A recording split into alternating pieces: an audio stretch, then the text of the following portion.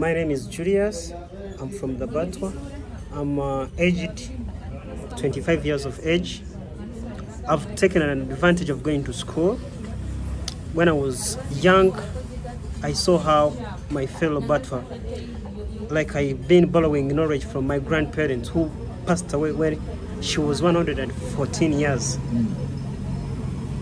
I've, I've been asking myself, like, how the Batwa used to live in the in the forest, and this is when I've been contacting my fellow Batwa, including my relatives, my fellow Batwa, like doing that, and I've got much information from the Batwa, and that is how I came to start this organization or that program to help the Batwa when it is being run by the Batwa themselves. So what's the organization? The organization or the program that we have in it is called the Batwa Indigenous Empowerment Program, and it started by the Batwa scholars. I myself I took a lead to start that program or organization. We have Batwa scholars who have joined us over 30 Batwa from different communities from different places. However, we are working in one with two communities, but we hope to work with the Batwa wherever they are in the whole country. But this is just a start, which why we started this small thing, what we call the Batwa Empowerment Program. But in the future, we are planning to register, making it a bigger organization, and then it can be known by worldwide. People have been asking, who are the Batwa? The Batwa, this is this is what I can say. Batwa are known to be the first people to live in the mountains and in the forest and the mountains of Virunga and Bwindi National Park, uh, plus Echuya Forest. So they used to live in those places where they used to live on uh, fruits. They were known as hunt-gatherers. So Batwa would be also known as the Pygmies. Pygmies, I'm coming. I'll maybe Yeah. explain why, how, yeah. how, how pygmy Just came. so people out there they yeah, know. yeah, So, yeah. I'll come to know. Maybe tell why how mm. pygmy came and Yeah, the please, pig- please. Yeah. So the Batwa, that is the local name. Mm. So they used to live in the forest and then move in the forest looking for fruits because the Batwa are known as hunt gatherers and fruit gatherers. So moving in the forest, they used to look for fruits like Mariansa's fruit, other fruits, and whatever they would find sweet, they would eat them. Like thick berries, those were like also fruits, and the fruits were very much important, and helpful to their body. They acted as medicine, like, uh, like Mariansa's fruit used to help for easy digestion of food. When it comes to food, other fruit, the tubers, they would feed on uh, wild yams and other tubers. Then killing animals. People have been asking, but we used to kill animals, and that's why we evicted them from the forest. But that is not the point. The Batwa we are the conservation of the forest. They used to conserve this forest. If I can to, if I can take back, have a look to how I got the story from my grandmom. This is when my grandmom told me when they used to live in the forest. As they were moving in the forest, the men would go for hunting, the women stay behind, caring for their babies, looking and taking all that kind. But when the, the men have gone for hunting, they would not kill these gorillas, chimpanzee, snake. They would respect those three animals.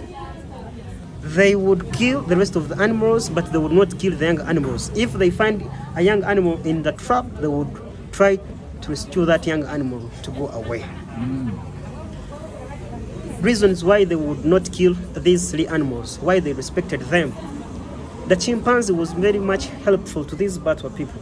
The Batwa would never come to know how to discover kind of food in the forest, like these fruits.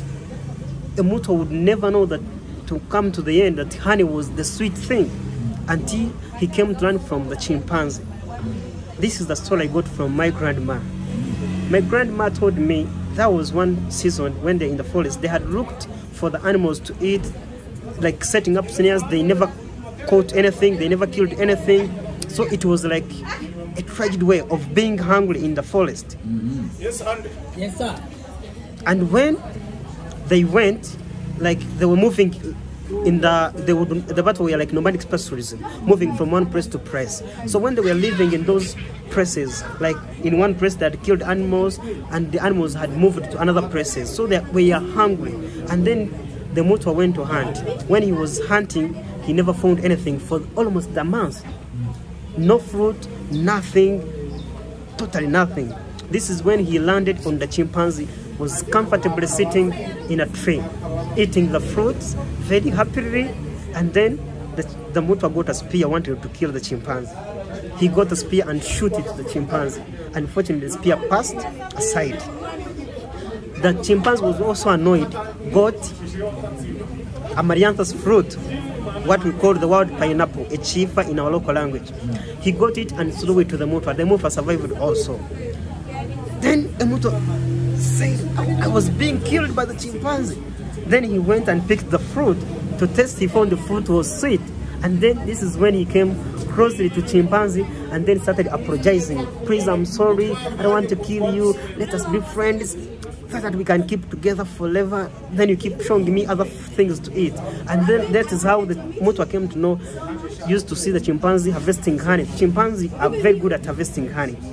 And then that is when the Mutwa came to, to know that honey was also sweet. So from that day, the Batwa would respect the chimpanzee as brothers and sisters. They would respect them and would not kill them. That is one. The batwa, when they used to live in the forest, they would not kill the gorillas because the gorillas were like they they resembled like gorillas, or resembling. Ah, yes. So they would sleep like if the gorillas are sleeping like five, 10 meters out from there, then the bat would also sleep like maybe 10 meters out from them. Then they learned how to make these nests. The bat never knew how to like make these nests, uh, how to show love to their babies. The bat were like green. They never knew anything about all that about. So they said, "Oh, this what we're doing. We, we, we really need to do something." So that day, the Batwa really liked that gorillas because they took them to be brothers and sisters. To the extent when the Batwa are uh, fed on the meat and they are satisfied, they would be dancing, and then the gorillas would come in the dance. So this brought love to them. Then the snake, the bat would not kill them. Yeah, why? Snakes. They would not kill the snakes. The reason was, in the forest, the snakes were our ancestral gods. The Batwa never had churches, and the god was in the form of the snake and called Nyagasani. So was very much respected when the Batwa were living in the forest. So the Batwa would come and see these, like when they, are, they need blessings, they would come and slaughter, bring to these animals, to the snake, to these other animals, uh, what they would kill. So that when they go tomorrow for hunting, they have more blessing for killing. When they have like marriage, they have more blessings. When they want to do anything, they have more blessing from their God. That is why they would not kill the snakes. Do they ever use the snake's venom for arrows to to kill animals or anything? In the in the forest, yeah. in the forest, the hunting, the hunting was like this. They used they they had three types of killing animals. One, they would set up snares. Not, I don't call them snares. I'm just Yeah, using. sure. Yeah, it's called traps. So they used to set up traps, of which traps they would. Some of them they would target animal animal footprints, uh, animal neck, and another type they had it was a chiliva where they would bring heavy logs and when an animal is passing down it screamingly hits an animal and then it dies. I wish you were in the in our cultural center and maybe see everything like that i'm just taking i'm telling out. Hmm. Maybe people can come what i'm like explaining here Yeah. then they come to understand what we are like talking about in our Batwa Culture Heritage Center. Hmm. Yeah, so? So actually, the tell me now, going back to what you're actually doing, the cultural centre, what you've established. Tell me more about this. Yeah, in the Batwa Culture Center, when you come to visit us, you expect to learn how the Batwa used to do medicinal herbs. The Batwa were very much important, We are very were wise and even knowledgeable to the extent that the Batwa used to, to have medicinal herbs. When they have like these tapeworms, they I have learned them from them. Even myself, I don't go for like deworming. I just go and pick medicine for tapeworms and it has helped me. I've not paid anything. I'm very comfortable, and they still practice and use it even up to now. So medicinal herbs is part of in our cultural center. We also have the type, different types of how the Batwa used to live. They had different types of houses, as a tree house, um, house for boys, for girls, all that kind. They have them. They also we also have cave, how they used to live under caves. Caves were known as permanent houses for the Batwa in the forest. Called the Batwa, when they were moving like press press, they would not set up like these permanent houses. Mm. It would cost them more time, and when they are moving from one place to another. That makes sense. Yeah. So they were very comfortable. So that is one way. Another thing you can learn. And we started this cultural center majorly when we had started this organization. The major thing we were focusing on, we were focusing on uh, how we can. Our culture is almost dying out, so we wanted to pass over the, the rest of the knowledge to the coming generation. And that is why we have this culture. We didn't start it for tourism purposes. The major purpose is to pass over the knowledge what these old Batwa have to the rest to the younger generation. Like me, I've been attached and I feel see, seeing my culture dying out. I felt I was like I have to be in this. Myself, I started this organization as a Batwa scholar when I was working somewhere and then got raised money and then it was passionate to me that I have to start this. Though we have many organizations and many charities in Uganda doing this, but to the research, what people have made, they use us the way, if you can see how people go to do the gorilla trekking, how much do you think the gorillas earn from the gorilla trekking? I have no idea. Nothing. How much do you think the chimpanzees earn from this chimpanzee trekking? Nothing. Still, other people are using us. Like they say, they're making organizations, they're making charities to help the Batwa. But still, much bigger things go to the people who have made this. But to me, as a, a person who is from the Batwa, I feel making this will help my fellow Batwa. It, and, and it really makes sense to a Mutwa coming to me face to face and directly asking me where I can help, what would be the problem. I think and I've seen working like seeing all the Batwa who may fear, even the Batwa who have gone to school, they totally fear some of the things like going competition of jobs. They cannot go and look for jobs due to marginalization in the country. And how many Batwa are there in Uganda? To the population census that took place in uh, 2014, we have a total of Batwa 600, 200. How much? 6200. So 62,000. Yeah, 62,000. That is, but yeah, that then- was that was in Rwanda and Congo also Batwa, no? yeah, they are Batwa. We have and uh, was it uh, they estimated that was one one and then zero zero. So it's it's one one one one million one hundred thousand. Yeah, that is was estimate. They Right. estimated that was the population census that took place in 2000 in 2015 uh, the And the Batwa I've seen seem to be very impoverished. They seem to be very in bad circumstances, living in bad circumstances. The Batwa, they don't they don't have money. They don't they. I get the impression that the Batwa are very poor, that they have no money. Yeah, the Batwa don't have money. Uh, it's the question comes like this: How are Batwa living and earning a living to this to current situation? So the Batwa, how they are earning a living in this current situation, they work for others. Even me, when I was a kid from very young, I used to go and work. Like I used to go with Mama, moving around the communities, working for food, all that. That is one way how the Batwa are earning the living. The secondary, those who are to the age of 70 to 70 and 7, 80s, they go around house by house begging for food.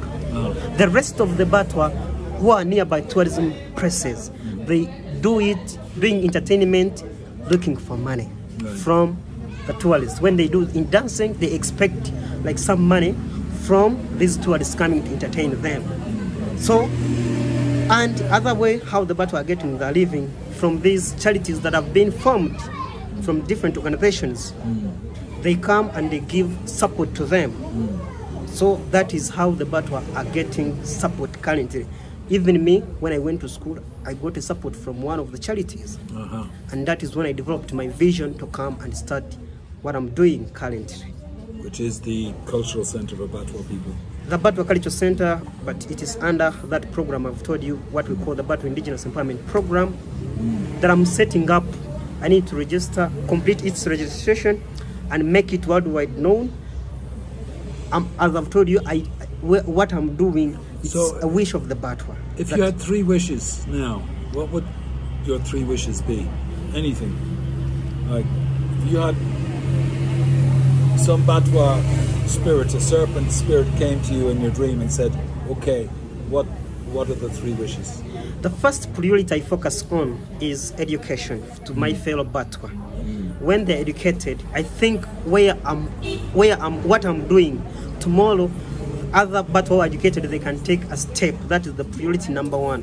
Mm. The second priority, the second priority I'm looking at is having a bigger land, and then we do what we call the Batwa Cultural Center, where the Batwa, the old Batwa can can be, and then the young ones can come always learn about the Batwa cultural thing. Their heritage. Yeah, the heritage, The telling the medicines, the stories, language, the- making kind of uh, all that kind in that, and then having medicinal herbs that we can learn sometimes, and then we can maybe all learn from that center, being bought by the Batwa and being managed by the Batwas themselves. Right. And then the third one.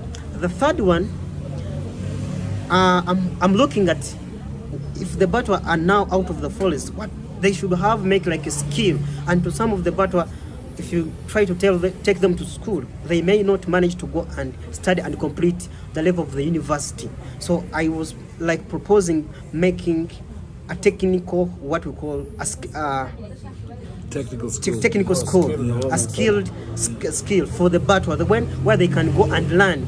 Even they are they are skilled at making weaving baskets. The young girls can come and learn from the, their grandparents, from their parents, how to carve these gorillas. Still, it can be one way of making a living. Like there could be a market of the Batwa selling the crafts outside, like in different countries. I think it would be another way of earning for the batwa.